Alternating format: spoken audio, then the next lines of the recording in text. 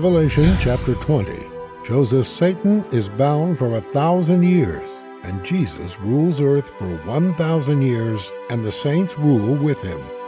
Verses 1 through 3. And I saw an angel come down from heaven, having the key of the bottomless pit, and a great chain in his hand. And he laid hold on the dragon, that old serpent, which is the devil and Satan, and bound him a thousand years and cast him into the bottomless pit and shut him up, and set a seal upon him, that he should deceive the nations no more, till the thousand years should be fulfilled. And after that he must be loosed a little season. Jesus will rule earth from the capital city of Jerusalem, and for one thousand years there shall be peace on earth. Thrones and judgment was given to the saints. Jesus is the King supreme and we will rule and reign with him.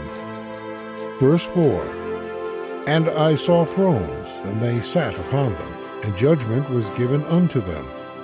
And I saw the souls of them that were beheaded for the witness of Jesus and for the word of God, and which had not worshipped the beast, neither his image, neither had received his mark upon their foreheads or in their hands, and they lived and reigned with Christ a thousand years.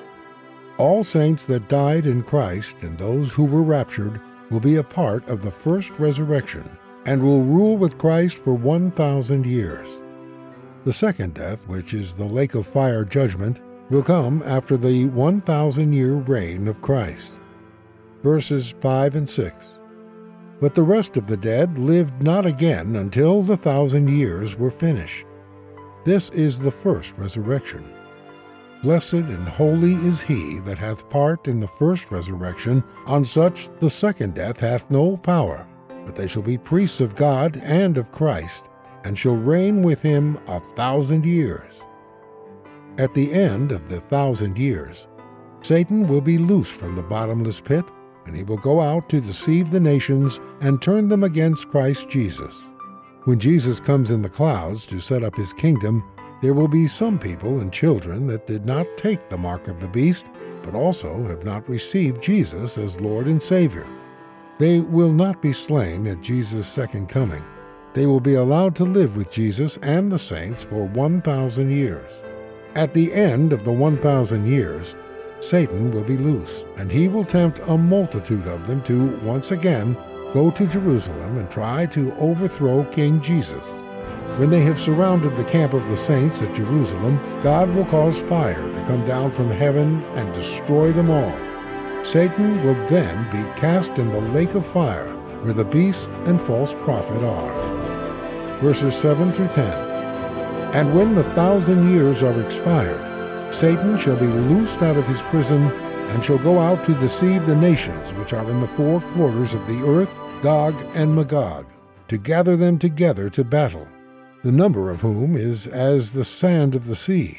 And they went up on the breadth of the earth, and compassed the camp of the saints about, and the beloved city. And fire came down from God out of heaven and devoured them. And the devil that deceived them was cast into the lake of fire and brimstone, where the beast and the false prophet are, and shall be tormented day and night for ever and ever. The final judgment. At the end of the 1,000 year reign of Christ on earth, the great white throne judgment will take place. All the dead and people in hell will arise for the final judgment. All people will come before the throne of Jesus, and he will separate the sheep from the goats.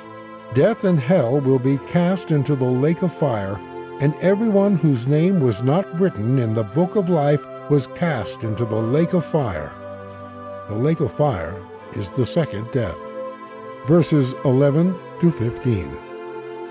And I saw a great white throne, and him that sat on it, from whose face the earth and the heaven fled away, and there was found no place for them.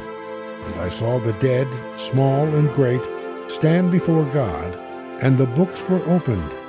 And another book was opened, which is the book of life.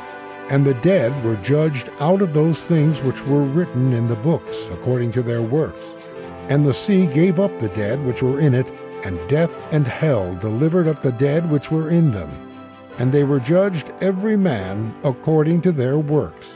And death and hell were cast into the lake of fire. This is the second death. And whosoever was not found written in the book of life was cast into the lake of fire.